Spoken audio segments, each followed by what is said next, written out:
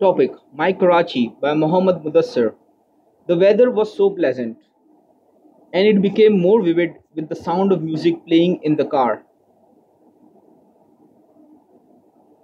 Our car was going towards Clifton, while we made plans for shopping and dinner as well. Karachi is becoming a place where you can find shopping malls, food courts, coffee shops, and a food street like Port Grand. It is only one side of Karachi which shows peace, wealth, and a fast paced life. When the car neared the traffic signal, instead of slowing down, Faisal looked around and drove the car recklessly through the red light. A person who was crossing the road fortunately just escaped being hit by the car. Faisal, I shouted. Are you crazy? Faisal replied with a smiling face. Come on, Amir. This is normal and everyone does this. I thought in Pakistan nobody wants to fulfill their responsibilities. We always blame the system. Perhaps we have learned this attitude since childhood.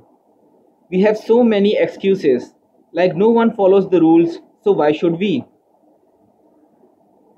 And if the same people go to Europe or any other country, they follow all the rules there.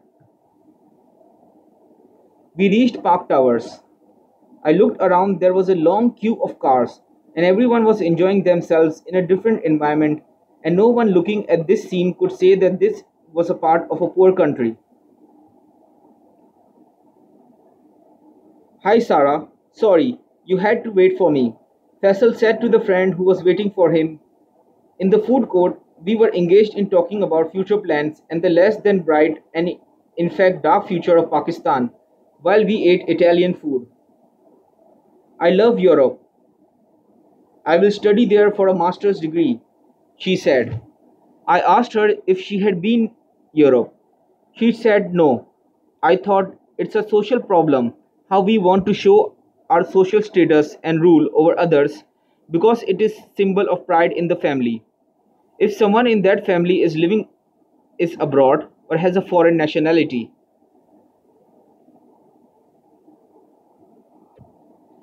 sarah had to leave early because there was trouble in the city karachi is an unpredictable place it can be shut down and brought to a halt within 10 minutes only by spreading rumors of trouble Unfortunately, it has been divided by different religious and political sects.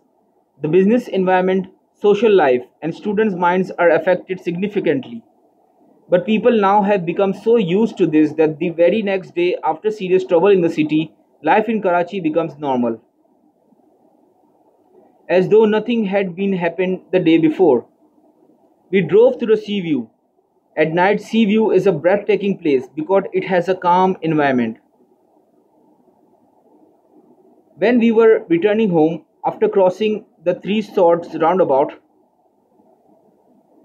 I noticed a social welfare trust which was situated at the corner there which helps poor people selflessly on a daily basis. This too is another faces of Karachi. Just after crossing bridge at nursery, we saw a crowd. An old man lay on the road because he was injured. But we didn't stop and help. We moved on even though we saw him in need of help. Next morning, I read in the newspaper that a person died before reaching the hospital because he was badly injured in an accident. If he could have reached the hospital 10 minutes earlier, his life would have been saved. I threw the newspaper down and did not give this a second thought and went off to college. I engaged in my routine of life of studies, socializing, sharing thoughts of economic development, etc. Nobody here has enough time to think about the true realities of society because everyone has their own interests. I too do not think because I am part of this society and it is a normal thing in our life.